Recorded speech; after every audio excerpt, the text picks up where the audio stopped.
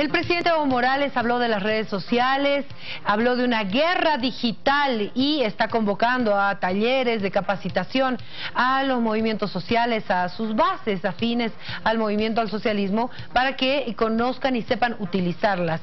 Pero, ¿cuál es el poder de las redes sociales? ¿Funciona así? ¿Se puede tener una guerra digital ¿Cuál es el concepto? Está con nosotros Eric Hurtado Vallivian, él es experto en estrategia de marketing digital. ¿Cómo estás, Eric? Bienvenido, un placer tenerte. No, el gusto es mío, Priscila, es un placer estar acá para hablar de un tema que es tan apasionante, ¿no? Y ahora que está tan en boga en la sociedad boliviana.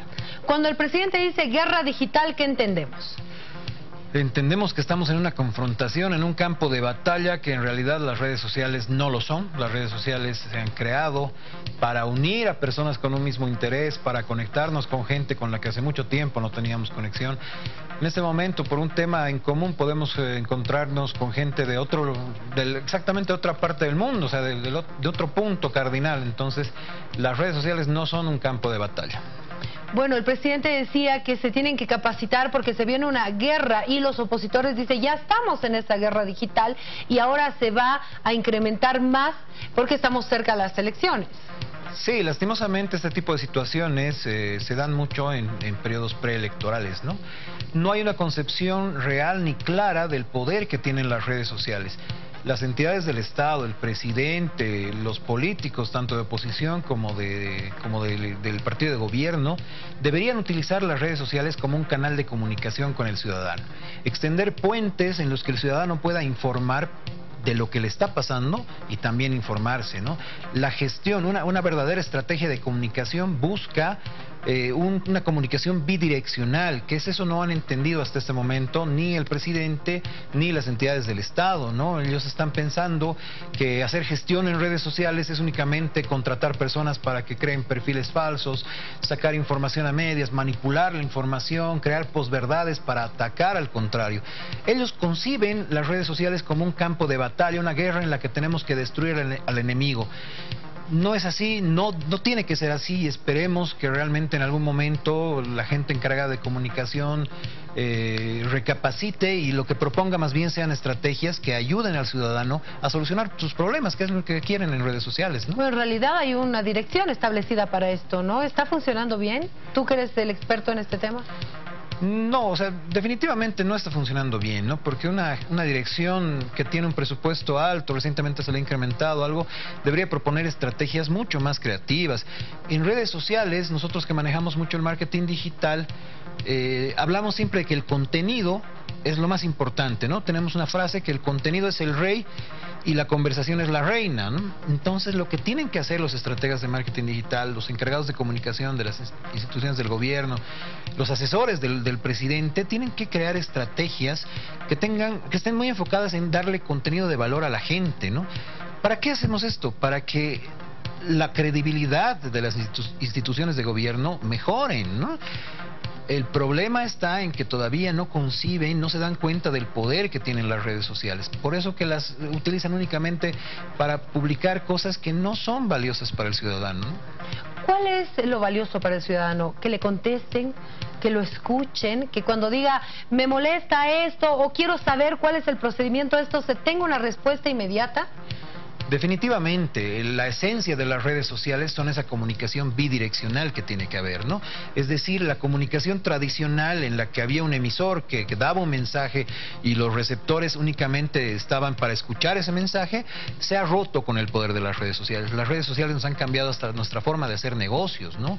Podemos responderle a la marca, a una marca X, decirle que tu producto no me gusta por esta razón.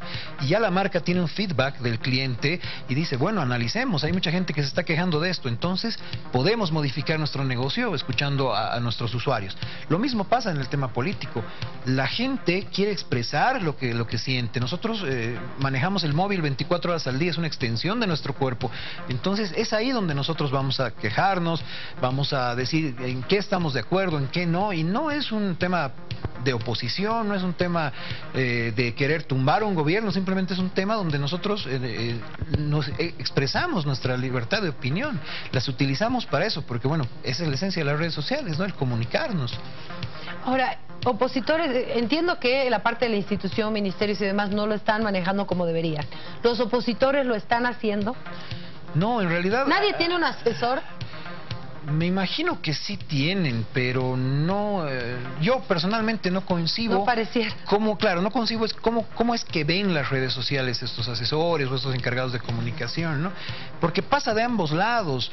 Ah, pasa lo del video de, de cómo supuestamente sacaron al presidente Evo Morales de Tupiza. Esta información falsa. Y es una información falsa, ¿no? Eh, recientemente hubo un, un hashtag fuera Revilla, ¿no? Que, que que está en ha estado todo el día, ¿no? Sí, pero si haces un análisis son cuentas eh, que son creadas, las cuentas de Twitter que han utilizado ese hashtag han sido creadas entre diciembre y, enero de, del, o sea, diciembre del año pasado y enero de este año, entonces son cuentas falsas, no, no, no tienen muchos seguidores, siguen a pocas personas, entonces en ese mismo, en ese análisis tan básico te das cuenta de que simplemente son trolls que están atacando al, al alcalde. Por eso te digo que va de ambos lados, ¿no? Ninguno está utilizando realmente las redes sociales como un lugar, como una plataforma de atención al ciudadano. Un lugar donde la gente pueda, como te digo, informarse, pero también informar y también decir, expresar sus necesidades. Al fin y al cabo tenemos un presupuesto que es del, del Estado, que son nuestros impuestos, que debería estar destinado a crear estrategias de comunicación bidireccional y no únicamente atacar al, al contrincante. ¿Cómo lo están haciendo otros países? ¿Está eh, funcionando? ¿Tú has visto alguna ah, con algún país que nos podamos comparar? Hay, hay instituciones, bueno, hay eh, instituciones, por ejemplo, en Chile que utilizan las redes sociales como tiene que, que, ser, ¿no? Que son atención al cliente. Si yo tengo una duda, por ponerte un ejemplo de impuestos, yo voy a acudir a su página porque, bueno, la, las nuevas generaciones no están buscando el teléfono para llamar. O la dirección para ir. O ir personalmente, están conectados al teléfono o a, la, o a la computadora y hacen una consulta en línea y esperan que tener respuesta ese momento. Entonces, esa es la clave, ¿no? que las redes sociales le sirvan a, las instituciones y, a los políticos como un lugar donde puedas comunicarte directamente con el ciudadano. Es una plataforma maravillosa para eso, ¿no? ¿El presidente tiene ese contacto directo con la gente? No, no lo tiene. Dos años en Twitter, la única interacción, más allá de, publicar y publicar contenido, la única interacción que ha tenido ha sido un retweet a Marcelo Claure cuando han anunciado la inversión de un proyecto en el estadio. Es la única interacción que ha tenido. Facebook, abierto hace creo que un mes más o menos, un poco menos de un mes, tiene hasta hoy más de 50 mil seguidores, 50 mil fans en su página pero no tiene interacción. Obviamente sabemos que un presidente no va a estar respondiendo todos los mensajes, ¿no? Pero se supone que tiene un equipo de comunicación, se supone que tiene estrategas de marketing digital o marketing político que deberían escoger mensajes para que él responda. Para, para responder, porque al fin y al cabo un ciudadano que expresa su, su disconformidad o su apoyo en algo necesita un feedback, necesita una respuesta. Esa es la esencia de las redes sociales. No se maneja de esa forma, entonces no es una presencia real, ¿no? Ahora, quiero también que pueda servir esta entrevista para una recomendación a la gente. En estos últimos días hemos visto información falsa con el tema de Tupiza, de cómo el presidente supuestamente estaba escapando de Tupiza y en realidad era un video del presidente Correa que efectivamente salía escapando de una entrevista en una radio. Eh, había eh, audios en WhatsApp que hablaban de muertos en Tupiza. Entonces, esta información falsa, ¿qué debe hacer la gente? No solo compartir y compartir. Claro, e, es de ambos lados, ¿no? Porque si te das cuenta, ver esto del video, si analizamos un poquito, breve y rápido, el video viene después de una desafortunada declaración del presidente. Entonces, no es que la gente se ha inventado, no es que las redes sociales han, sacado ese tema y han hablado del video.